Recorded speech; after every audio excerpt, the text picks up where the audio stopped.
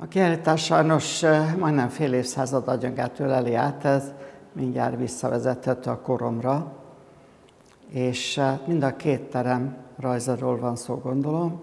A felsők, az úti rajzok, azok hát először tulajdonképpen otthon Erdélyben, Kalotalszegen készültek, de persze én már akkor visszajáró voltam, nem ott laktam.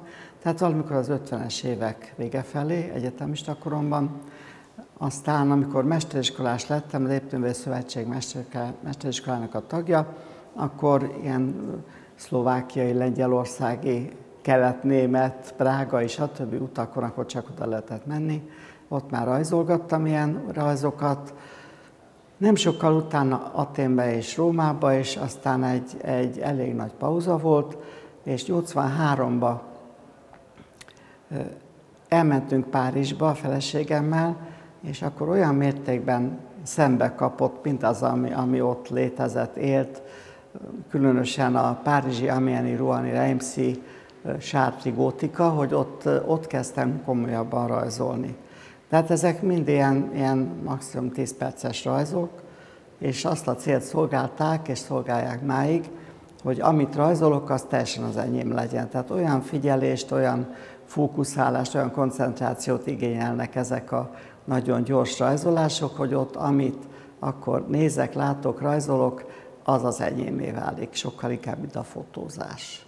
Itt a, a alsó teremben pedig az építészeti rajzaim vannak, ezek is visszanyúlnak kb. a 70-es évek elejére, közepére. Itt a, a rajzolás az a, az a munkamódszeremé vált egyre inkább és egyre tudatosabban. Minden gondolatomat azonnal lerajzolom egy, egy pillanat alatt, és ezek a vonalak vagy igazat adnak nekem, vagy visszabeszélnek, tehát nagyon hamar jelzik, hogy, hogy, hogy a, az elképzeléseimnek, a gondolataimnak van igazságtartalma, vagy nem.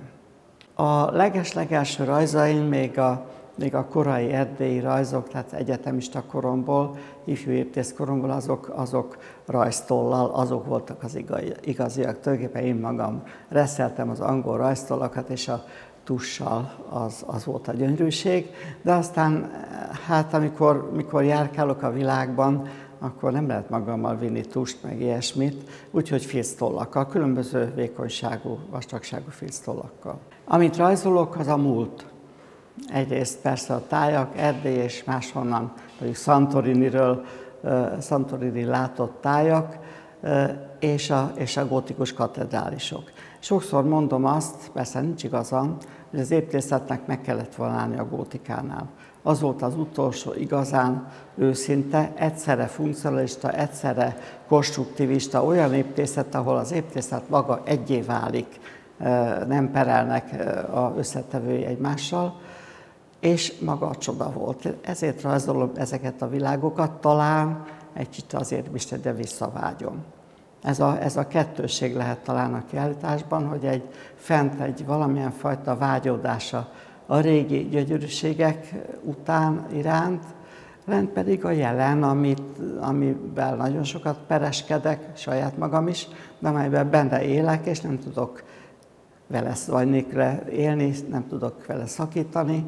Ezek, ezek azért más dolgok, és a ház, amikor megvalósul, azért az, Szóval nem, azzal nem lehet viccelni. A rajzokkal néha lehet, a házzal nem lehet.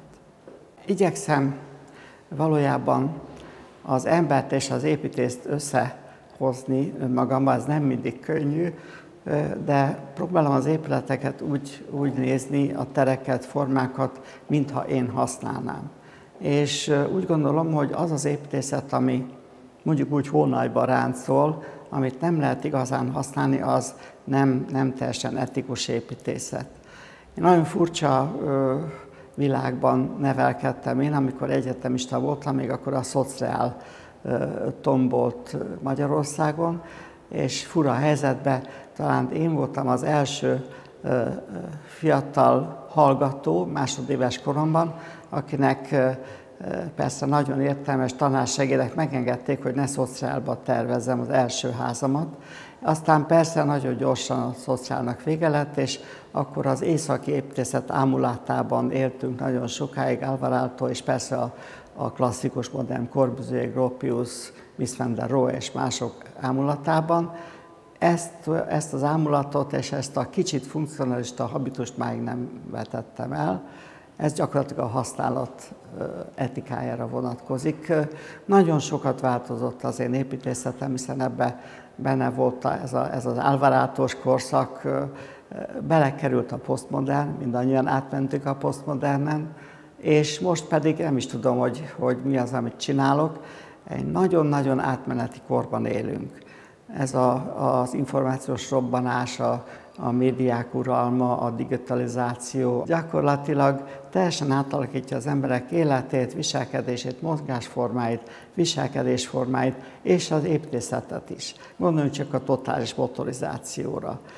És ezt még az építészet sem emésztette meg ezt a kort. Olyan évenként változó, folyamatos for, átalakulásban, változásban élünk, nem találta meg az építészet a maga igazi stílusát, építészetét, de hát azért dolgozni kell. Van fogalmam arról, hogy némi fogalmam, hogy milyen korban létezünk, és egy olyan építészetet gondolok, amely, amely a nagy általános tárgyi világ része. Nem tudok elképzelni olyan építészetet, ahol csodáljuk a, mondjuk a leg, legújabb Porsét, vagy az elektromos autókat, és a repülőt, és, a, és mindazt azokat a tárgyakat, amiket használunk, és egy másfajta építészettel foglalkozunk. Ez a világ egy. Egyek vagyunk mi vele, próbálom ezt csinálni.